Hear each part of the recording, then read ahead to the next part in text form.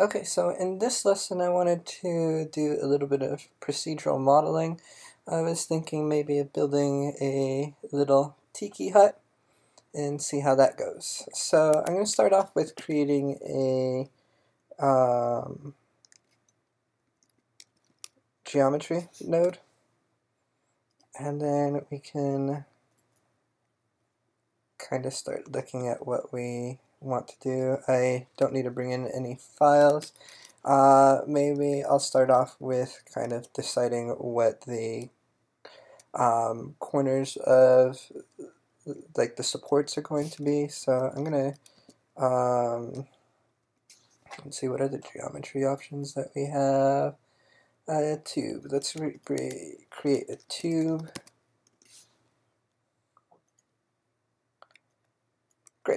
Uh, so I'm going to switch this over into a polygon model. I am going to adjust the height so that we have something a little bit taller in our scene and then I'm gonna do what I want is nah let's do 12 there and bring this up to like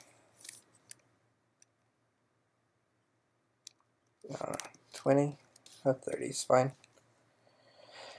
Cool and then let's bring the radius down here. So let's actually bring the radius down on both of them. So we have something kind of thin like that. And then I'm going to add a transform node to move the geometry.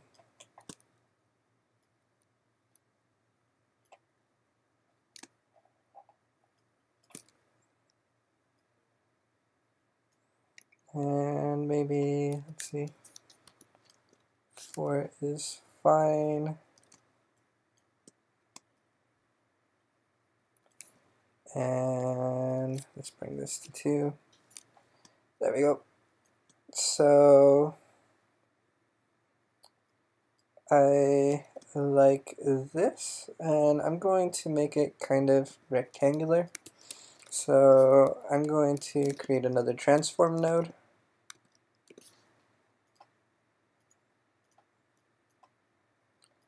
So I kind of want the same thing on the transform node um, from both of these. Let's go in and add a merge node right now so that way we can see how they are both being connected in. So I kind of want this, but I want it to be up there. So what I'm going to try to do is copy the attributes from here. So I'm going to copy parameters from that node and paste the relative references here. So that's going to make it um, the same thing from one to the other. But in this case, I actually also want to have it the opposite in the x direction. So um, in this transform node, I'm just going to take all of that and multiply it by negative 1 so I have all the information on there. So if I change the, um, not the rotation, but if I change the translation here, it's going to be the same. It's just going to be basically mirrored. So that works well for us. Um, and here, if we wanted to adjust the height, you'll see that we can adjust the height over here. Um, maybe for the height over here we have um, basically 8 so if we clear that there and we look at the height here we put it at 4 that's what basically um, makes the same height there for us. So what I'm going to take is this node and copy the parameters and over here I am going to um, paste the relative reference. Although what I want to do with this one is divide it by 2. So that will make sure that when we go over here and adjust the height, if we wanted to adjust it later on, it will always keep it on the correct place for us. Great. So I basically want to do a very similar thing, but um, have it also go in that direction. So we're going to need a few more of these cylinders. Um, just to make it easy, I'm going to push the z of this transform over here. So it's going to be at 1. And essentially, the ones that we go to over to this side, we want to be copies of these, but we need them to be um, negative in the other direction. So that works out. Um, I'm going to do a copy paste for this here. And when I copy and paste I have all the um, code that we created there as well. Um, the only thing I want to do is modify the multiplication there. So that works out. And then I am going to, let's copy and paste this one again. Um, the only thing is that on the x, I don't want to multiply it by negative 1 here, but on the z, I do. So I can uh, multiply by negative 1. And just connect that into the merge node. So we kind of have the um, poles there cr created where we need them. And that is a good start. So now uh, let's look at setting up maybe a box to be able to um, adjust and put onto the front and the sides. And I want to try to make this as procedural as possible so when we adjust one thing it kind of um, adjusts everything else to go with it. So box. Okay, merge that in there so that we can see what's going on. And to add a transform node here.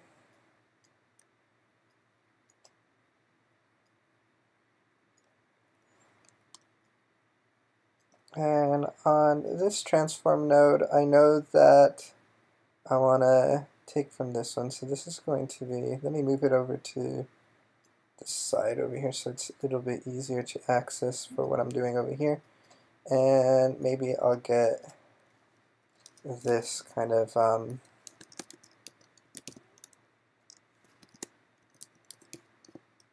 that's where I'm kind of starting all the measurements from. So with this box right here, we can see that it's a size, it's one unit by one unit by one unit. Um, if we look here on the X, on this object here, we moved it two units. So essentially, if we want to stretch it on both sides, it wants to, it needs to be four. So what I'm going to do is take this and copy the parameter and paste it into the scale x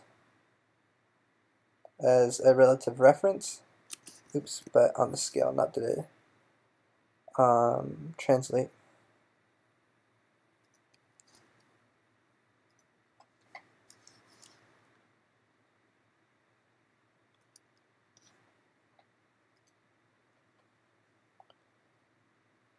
Uh, then we can multiply this by 2. And that did not work.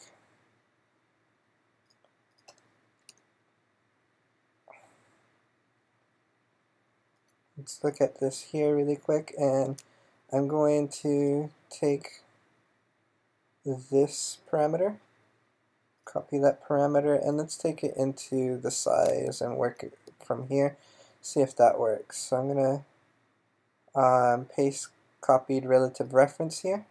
There we go that looks a little bit better.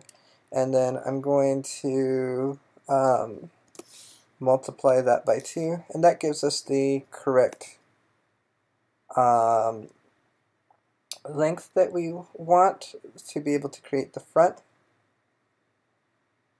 And I'm going to create another box.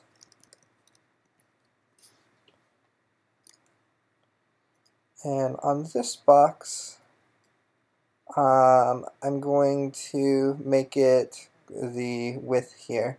So um, again looking at this column here that's moved over one unit we just need to multiply that by 2 to create the width there so I'm going to go here and actually on the master column copy that parameter and paste it in the Z here. So I'm going to paste copied parameter. And that's probably why it didn't work on the other one because I had the one at the beginning. And then I'm going to multiply that by 2 so that gives me the width. I'm just going to add um, here figure out a kind of width of the walls that I want so that looks good maybe 0.1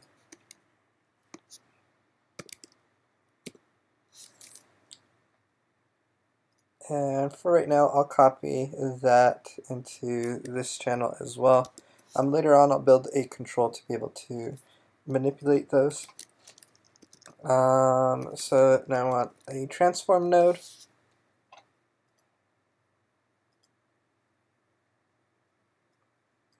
And with this transform node, I'm going to take the information from here because I want to be able to push it over to the side.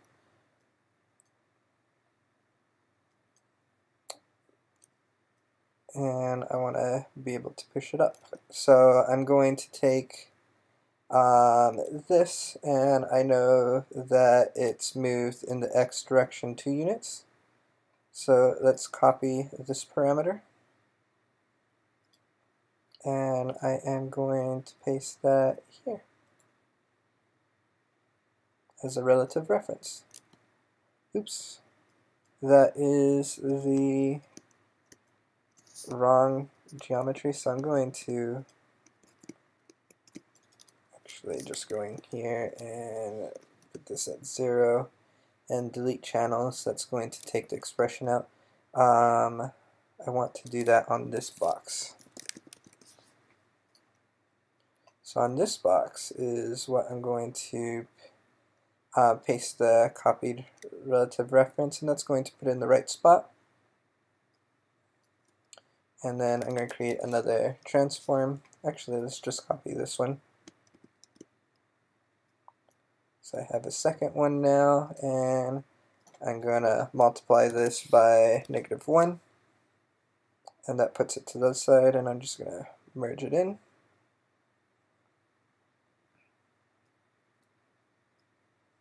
and then on both of these I want to move it up half the height so I'm going to take the size here and copy that reference, uh, copy that parameter and in the transform I'm going to translate it here so I'm going to paste the relative reference and I'm going to multiply that by negative or not multiply but um, divide by 2 so that puts it there on the floor, right where I want it.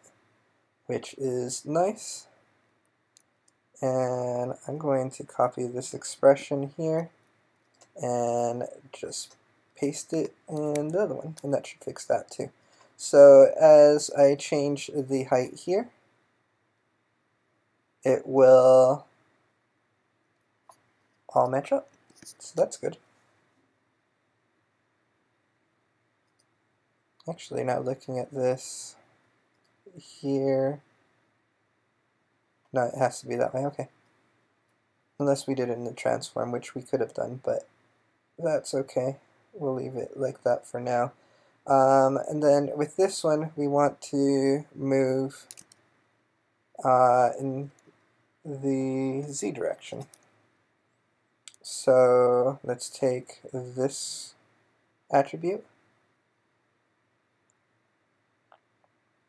and copy the parameter and go into here and let's paste relative reference. And again making sure that we delete the first number here. That's great. And then we're gonna copy this parameter. And let's paste it in here. So let's paste that reference and then oops. Set the channels there we go. Oops that's not what I wanted. There we go. Um, I just need to take this and divide it by 2 there we go. So we can adjust the height and as we adjust the height of that so maybe for the height on these. For now, I'm going to set it up at 2.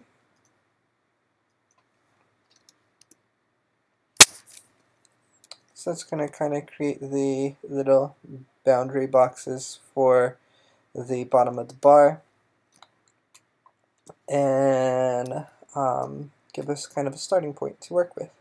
So I'm going to cut the lesson here and look forward for another video so that we can look at more um, procedural modeling so that we can build out this little tiki hut.